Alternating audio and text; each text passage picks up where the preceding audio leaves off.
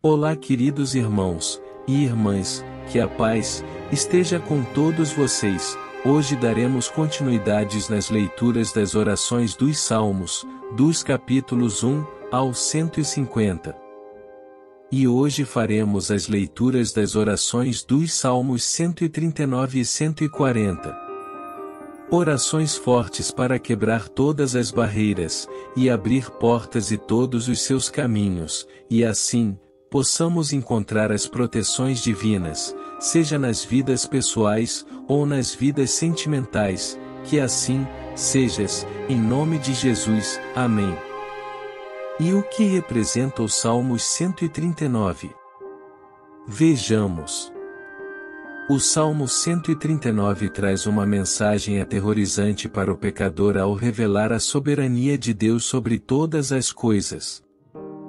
Mas ao mesmo tempo ele também traz uma mensagem extremamente confortante ao revelar que o Deus soberano governa todas as coisas de acordo com sua infinita sabedoria, santidade e justiça.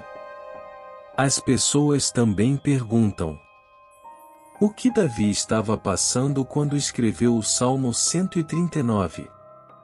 Vejam, se você já se sentiu assim, então você sabe o que Davi estava passando quando escreveu este salmo. Davi estava com ódio daqueles que são inimigos decididos e declarados de Deus. Davi tinha ódio daqueles que têm ódio de Deus e os considerava inimigos. E sendo assim, seguimos para leituras. Salmos 139 1. Senhor, tu me sondaste, e me conheces. 2. Tu sabes o meu assentar e o meu levantar, e de longe entendes o meu pensamento. 3. Cercas o meu andar, e o meu deitar, e conheces todos os meus caminhos. 4. Não havendo ainda palavra alguma na minha língua, eis que logo, ó Senhor, tudo conheces. 5 Tu me cercaste por detrás e por diante, e puseste sobre mim a tua mão.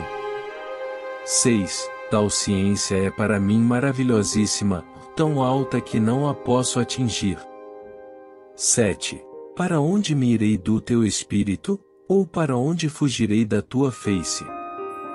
8. Se subir ao céu, lá tu estás, se fizer no inferno a minha cama, eis que tu ali estás também. 9. Se tomar as asas da alva, se habitar nas extremidades do mar. 10. Até ali a tua mão me guiará e a tua destra me susterá. 11. Se disser, de certo que as trevas me encobrirão, então a noite será luz à roda de mim. 12. Nem ainda as trevas me encobrem de ti, ou mais a noite resplandece como o dia, as trevas e a luz são para ti a mesma coisa. 13. Pois possuíste os meus rins, cobriste-me no ventre de minha mãe.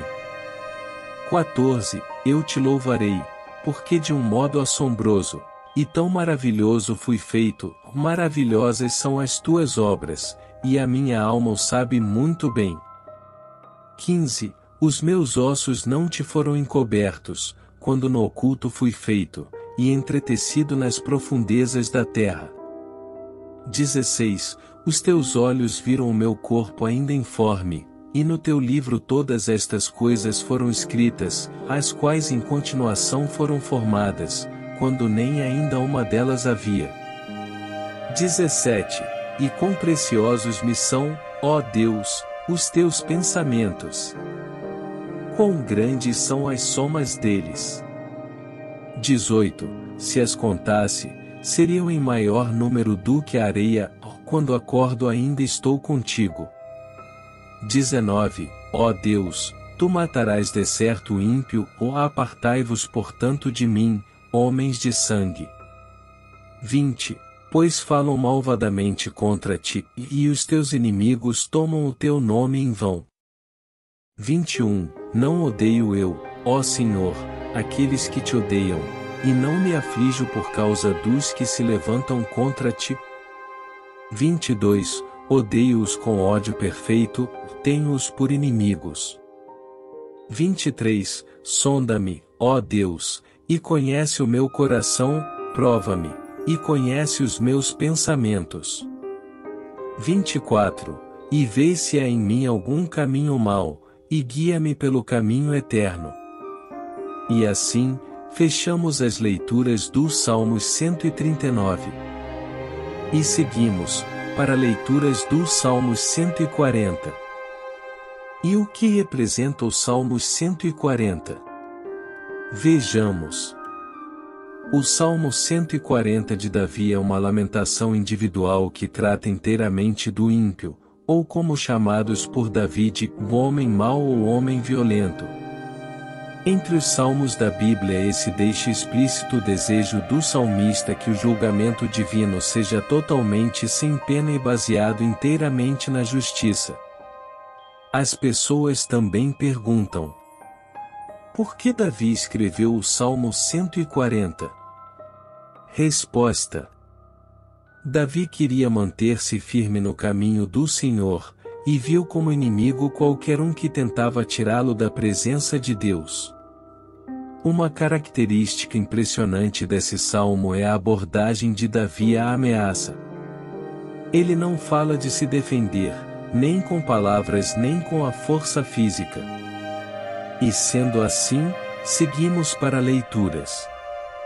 Salmos 140 1. Livra-me, ó Senhor, do homem mau, ou guarda-me do homem violento.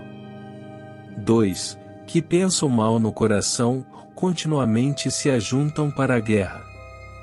3. Aguçaram as línguas como a serpente, o veneno das víboras está debaixo dos seus lábios.